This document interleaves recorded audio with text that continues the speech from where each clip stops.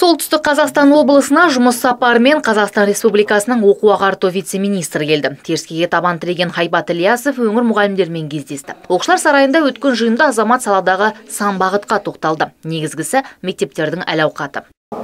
Арнайы мектеп автобустарының автопаркі жаңартылуда.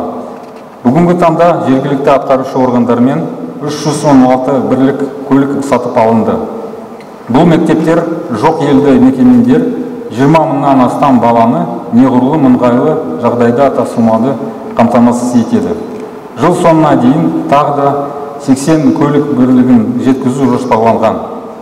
Жалпыға бірдей оқыту қоры шеңберінде жыл сайын аз қамтылған отбасылардан шыққан 460 мыңнан астам бала киіммен және мектеп керек жарықтарымен қамтамасыз етіледі. Ал баланы білім нәрмен сусындатқан ұстаздардың жалақысы жыл сайын өсуде. Студенттердің шәкіртақысы да ұлғайып отыр. Бірақ мектепке дейінгі мекеме педагогтерінің еңбекақысы көңіл көншітпейді. Сол себепті болар бұл салада кадр тапшылығы бар екен. Бұл мәселені Қызылжар ауданындағы Мирас балабақшасының меңгерушісі көтерді. С 2020 года 2020 жылдан бері балабақша педагогтерінің жалақысы жыл сайын өсуде. Бірінші қыркүйектен бастап тәрбиешілердің еңбекақысы 30 пайызға өсті. Біліктілікті артырған кезде де жалақы өседі. Қазір елдегі тәрбиешілердің орташа жалақысы 230 мыңды құрап отыр.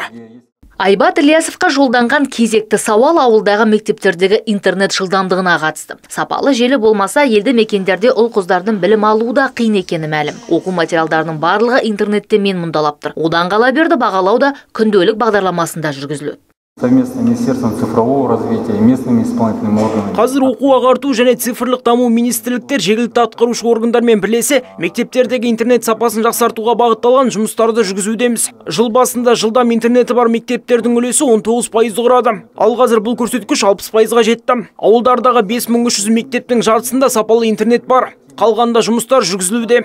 Жиында балалардың қауіпсіздігі турасында да әңгіме қозғалды. Скажите пожалуйста возможно ли установка дополнительных видеокамер по инициативе э, учредителя и родителей детского сада.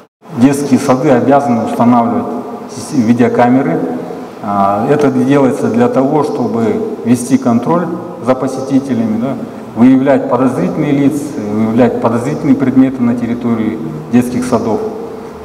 Также, вот, как вы спросили, вот, это, это необходимо То есть по инициативе учредителя и родителей могут устанавливаться дополнительные камеры в детских садах.